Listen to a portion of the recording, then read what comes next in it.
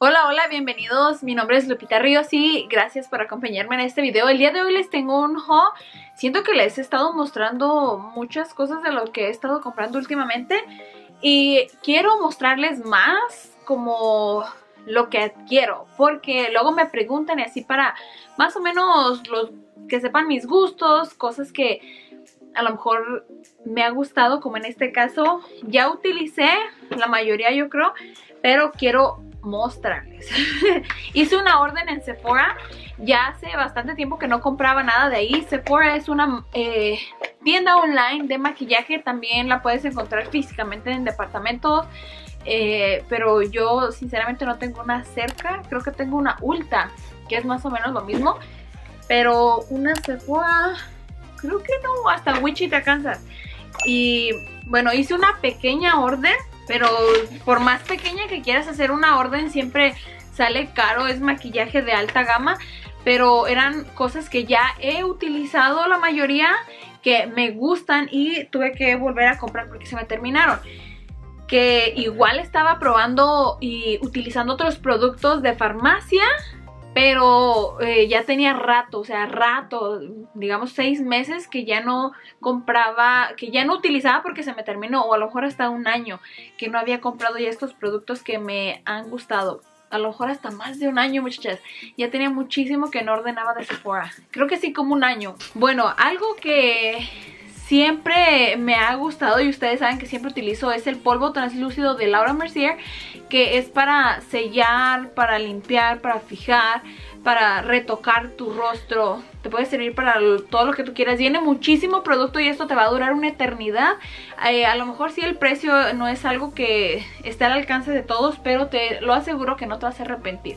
Igual hay muchísimos otros productos de farmacia que te pueden servir. Si tienes la oportunidad de tratarlo, yo sé que te va a gustar y te va a durar bastante tiempo. A mí sí me dura muchito, entonces lo volví a comprar y yo lo uso para sellar esta área eh, me gusta porque no se me cuartea ni queda seco, seco, ¿saben? Como yo tengo esta área súper seca, así que este polvo es mi mejor amigo. Lo voy a ir poniendo aquí atrás para que me hagan compañía. Eh, siguiente producto que ya había comprado ya había utilizado es esta base que me terminé ya hace muchísimo tiempo y es de Steel Lauder y es la Double Wear. Yo tengo el tono 1W2 Sand Arena eh, no la he usado, según el día de hoy la, iba a utilizar, pero se me fue la cabra y usé otra.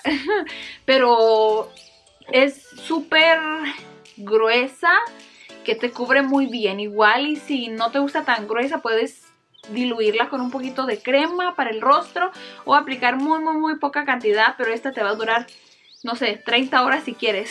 a mí me dura muchísimo, así que me gusta.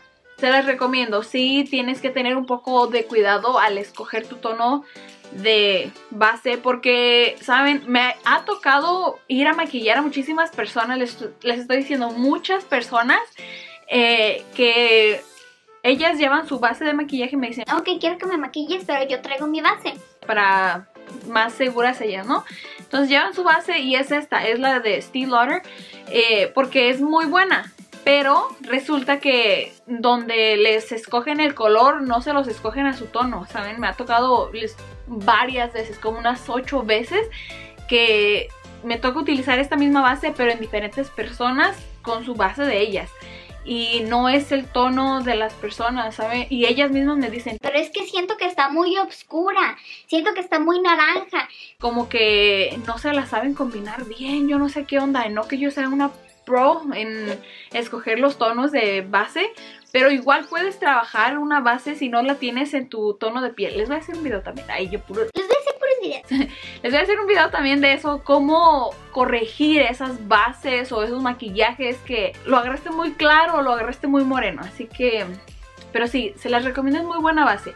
Ya después vamos a ver cómo corregir esas bases, pero se las recomiendo. A lo mejor el precio otra vez no es muy accesible, pero si quieres una base buena, esta o la de Too Faced también me encanta, ya saben, pero esta otra la acabo de descubrir. me la llevé para México, muchachas, y la he utilizado desde entonces. Yo había escuchado muchísimo de esta base, creo que a Jackie Hernández la escuché desde sus inicios, que utilizaba esta base, la de Kat Von D, la Locket, y me encanta, en serio es muy buena base. Esta te cubre hasta los pecados de tu marido. Te cubre todo. Eh, si quieres, esta no te dura 24 horas, te dura una semana. Literal, muchachas, me la pongo un día y si me acuesto con el maquillaje, obvio sí se ve como en el área de la nariz donde sudas un poquito más, se te ve desgaste pero como en la demás área del rostro sí se te ve chida, se te ve que es una base tipo cemento, a lo mejor no es de gusto de todas las personas, una base así de gruesa, pero para mi gusto, eh, con poquita tienes mucho, o sea, con poquita base que apliques de esta, te alcanza todo el rostro porque tiene una cobertura excelente y el tono creo que me fue bien. La estoy utilizando el día de hoy y es la Medium 54 neutral y la escogí yo ahí por internet ahí al azar. Eh, me encantó, de verdad se las recomiendo. No me ha sacado granos, no se me marcan los poros más, pero la he estado combinando con el, la prebase de Benefit que es la de Professional, creo que se llama para cubrir los poros porque la primera vez que la utilicé creo que estaba usando una prebase de CoverGirl y no me gustó. Y creo que fue la combinación de la prebase muy mantecosita y como que esto como que no se juntó bien, no hizo buen efecto. Así que a lo mejor y si tienes una base que no te ha gustado cómo se ve en tu rostro, a lo mejor no es la base o a lo mejor no es la prebase por separado. Simplemente que la combinación a lo mejor no es la correcta. Trata esa base que tienes ahí en tu cajón y no te gusta, trátala con otra prebase o trátala con otro rubor, ¿sabes? Como trata diferentes productos con otros. A lo mejor es la combinación, les digo, yo siento que la primera vez que lo utilicé no combinó bien con la prebase que estaba utilizando en esa ocasión. Creo que era una de también de los poros de CoverGirl, pero como que no se llevaban y la utilizo con esa de Benefit y es hace milagros, o sea, me encanta, se las recomiendo. Otro producto que compré, este sí tampoco lo había tratado, es el corrector, también de Kat Von D. Y este es en el tono Cool. Mm, siento que a lo mejor no es muy blanco, muy claro. Siento que tiene tonos como duraznitos y amarillitos. Pero me encanta, es un corrector también que cubre... Yo creo que hay que llevar uno de estos a la iglesia para que cubra los pecados de toda la gente. Como que yo ando muy de Kat Von D esta vez, ¿verdad? No me había fijado hasta ahorita. Eh, yo ya tenía esta paleta. Una chica me hizo el favorcísimo de enviármela hace ya algo de tiempo. En mi P.O. Box me la mandó. Y saben que era una de mis paletas favoritas. Pero yo de dale y dale duro y dale. Que me la termino. Y luego se me cayó y creo que se destrozó ya el último que me quedaba. Yo siempre estoy utilizando estos de a media este polvo del banana para sellar esta área en ocasiones y como para iluminar. Eso me encanta, tiene muy buena cobertura. Y este para contornear, es el que utilicé en esta ocasión me parece también. Pero si esta paleta me encanta y luego aparte el espejazo que trae eh, está padre, está padre el tamaño, todo. Y, y creo que viene más delgadita que lo normal, no estoy segura. No sé si han estado viendo ustedes videos en Instagram. Yo creo que el 200% de ustedes sí. Y a lo mejor han visto esta que era que las gotas de unicornio, que no sé qué, que dice que esencia de unicornio. De esta marca Farsal. No sé si han visto esos tutoriales en Instagram que están ahí chorreando, ¿saben? Como que, ¡ey, se te va a tirar! Bueno, yo miraba esos tutoriales y yo no, nunca me pasó por la cabeza de, oh, voy a comprar eso, ¿saben? Como, mm, mm, nunca me llamó la atención, a mí se me hacían esos videos como, como esos videos de Instagram, así como que quieren llamar tu atención, ¿no? Como esos de clickbait. Eh, yo, a mí nunca caí, nunca, nunca digas nunca. Bueno, yo nunca había caído en la trampa de, oh, voy a comprar eso, o sea, estos aceititos. Como yo dije, pues, ¿para qué usan eso? Pues ya la prebase está chida y todo, ¿no? Pues ya, ¿para qué gastar tanto? De por sí gasta uno mucho y todavía eso, ¿eso qué es que Como yo nunca había visto un video de alguien explicando para qué eran estas gotitas y hasta que no sé, ahí estaba comprando y me salió, me salió esto. Y dice que es una cera para eh, embellecer la piel y antioxidante. Antioxidante. Y dice aplicar en la piel limpia y ya con tu crema. Y puede ser aplicada antes del primer o como después de tu crema como normal. No, tiene no es como un primer, pero es como para embellecer tu cara, hidratarla. ¿Y saben qué muchachas? me ha encantado. Estos días la he estado probando. Como yo la agarré, dije como vamos a ver qué es esto que toda la gente está hablando, que todas estas chicas de Instagram, eh, eh, videos en YouTube virales así como lo, están usando. Dije vamos a verlo. Y me encantó, me gustó. Es más, no sé ni, ni cómo se pronuncia la marca. Farsal. Pero esta esencia de unicornio está, está chido. Me gusta porque hidrata tu piel. Les digo, yo tengo la piel de lagartijo, bendito sea Dios, en pedazos de lagartijo y en otro como gordita frita. ¿Sabes? Como no la tengo mixta. En veces bien, bien grasosa y otros pedazos acá bien seca que casi se me va a reventar. Y esto siento que me la, me la empareja, como los lugares que tengo secos me los hidrata y los que tengo grasos me los matifica. Entonces sí es como una buena amiga en este momento y como que te estira. No sé si pudiera decirles, trátela. Es como si fuera una cremita, pero en líquido. Y es rosita, el líquido con brillitos me parece. ¿Tiene brillos? Yo juraba que tenía brillos. Ah, caray. Sí, sí, sí, sí, tiene brillos. Dije, ¿cómo andaba?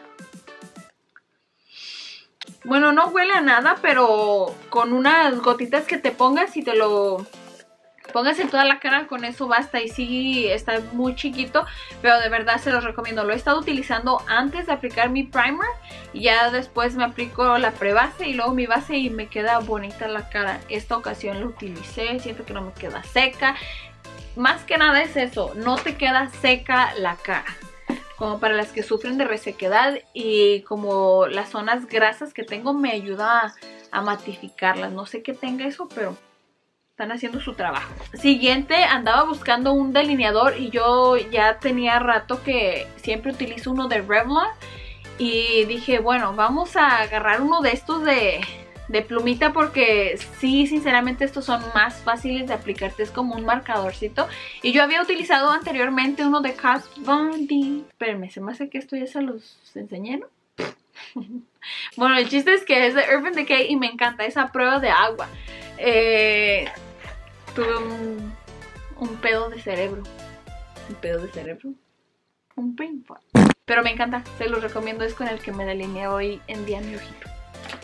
Creo que sí, ya les había mostrado eh, este, este corrector de NARS y encargué, pero otro tono y, más grande, la versión más grande, porque sí es un corrector muy bueno, te dura bastante y este lo tengo en Light 2, vainilla, y es más claro que el otro que tenía que era mediano 1, y este es como más, por decir, si tengo unos granos, con esto los cubro y si tengo como ganas de iluminar esta área, bueno, pues utilizo uno más clarito que es este. Y hace tiempo había visto esto eh, una vez que fui a maquillar a unas chicas, tenía la muchacha este iluminador de la marca de Urban Decay que es el Naked.